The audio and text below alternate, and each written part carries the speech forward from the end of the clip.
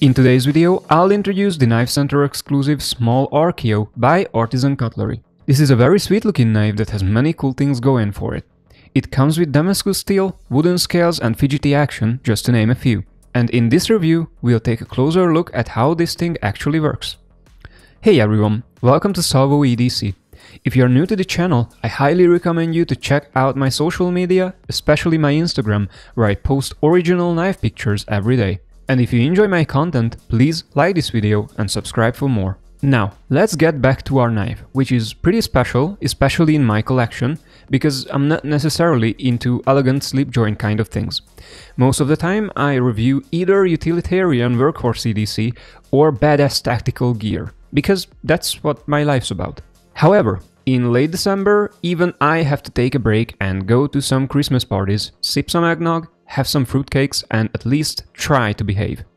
For those fancy occasions, I usually need a classy knife to match my elegant outfit and to look less of a caveman. This is when I usually reach for this Artisan Archaeo. In my opinion, this knife is a typical good example of what a true gentleman's carry knife looks like. The Archaeo offers some pretty exciting things that make this knife a lot cooler than other traditional gentleman folders. For example, it comes with a beautiful raindrop Damascus steel, stabilized Pakkawood handle scales and a crazy smooth fidgety action. It also has an attractive design with harmonious, clean lines and it comes in less than 2 ounces, so we can also say that it is sleek and lightweight. Plus, its unique locking mechanism combined with this sub 3 inch cutting edge makes it legal to carry in most places around the globe. And if I'm already deep into the specs, I'll also talk about this gorgeous Miot clip and similarly champagne colored backspacer. I looked up the coding on these on Knife Center but I found no information. However, they are not magnetic, so I strongly suspect anodized titanium, similar to the rest of the lineup. This would also explain why their coating is so dang durable. This knife is a member of Artisan Cutlery's Archaeo family, which is designed by Dylan Mallery. If you don't know his work, you should check him out on Instagram. He's a cool guy who's always in touch with his audience. His work made this knife pretty unique, and the most surprising thing that I need to show you is this action. Most regulations would describe the Archaeo as a non-locking folder, however, it is not a slip joint and not even a friction folder. This thing comes with a detent locking mechanism, much similar to a double detent mechanism, which simply means that the same way the detent ball keeps the blade shut, it also keeps it open. This Archaeo model you see here is the very first one that arrives with this so-called detent lock, because the rest of the lineup usually uses a TI frame.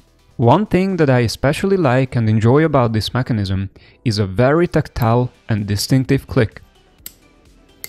So you always know when your knife is properly open or closed. Between the two stages, the blade can move around freely, and since the action uses the same detent ball in both stages, the blade requires the same force to disengage, which makes this action very predictable. As a result, the Archaeo became one of the best fidget knives in human history. I mean, this action is insanely fun, snappy and addictive. I catch myself very often clicking this knife in and out like it was a ball pen. But wait, the coolest part is yet to come. If you grab this proprietary stop pin and stick it into your knife, it turns your Archaeo into a super reliable fixed blade like configuration. So this teensy little pin under the blink of an eye turns this quote-unquote weak locking mechanism into an extremely strong one, which is very ironic in my opinion. If you buy this knife, it comes in this exact configuration out of the box with this very cord. The only thing I changed was its length, as it was a bit out of control. So you can also leave your pin with your knife 24-7 and you can also plug it in when your knife is closed and that way it will prevent the Archaeo from opening. And I know that on your screen this tampon string might look a little strange, but in real life it's pretty okay in my opinion. However, I never really use this stop pin to be honest, because the Archaeo's flipper tab is very well designed and in its open position it completely blocks the blade from closing on your fingers. Shout out to Dylan yet again, because this solution works very nicely.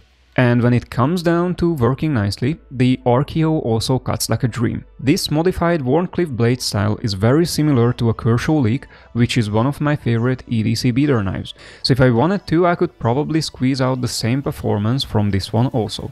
With this Knife Center exclusive Archaeo version, we got VG10 based Damascus, which is a pretty average N690 equivalent blade steel. It has a huge fanbase and many people love using it, but in my opinion, if it was not dressed up in this fancy Damascus wrapping, it would be a pretty boring mid-range balanced steel. This way, however, I'm super pleased, because at this specific price point, manufacturers usually don't tell us what's in their Damascus mix. And at least Artisan Cutlery was transparent about it and let us know. So this knife costs around $130 on Knife Center, but personally I bought it on sale for 100 bucks. And for that amount, in my opinion, this knife is a pretty good bang for your buck. Equally priced mainstream VG10 knives with plastic scales cost roughly the same, but this Archaeo is a lot more special, a limited edition, plus it also has some nice looking wooden scales. So in this comparison, I would highly recommend it.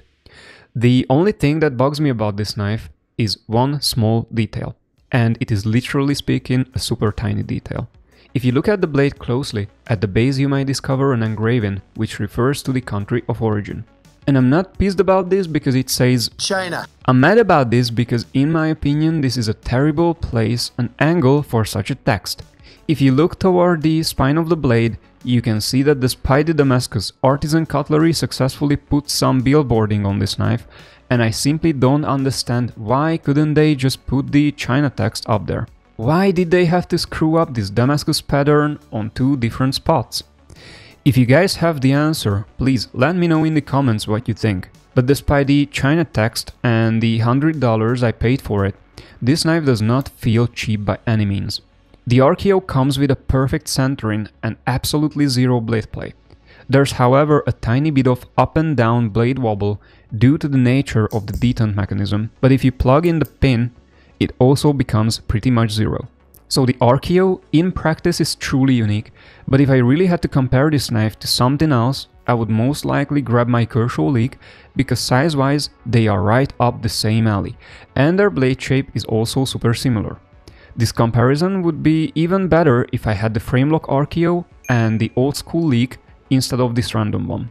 But I like to bring in another very cool knife, also well dressed for the holidays, and that is the Rainier Fastpack wrapped into this fancy Christmas paracord just in case. These are the two most popular knives under my Christmas tree, and they usually go from hand to hand as we open our presents. And when this happens, somebody always compliments the Archaeo, saying how much they love this raindrop Damascus steel and the wooden scales.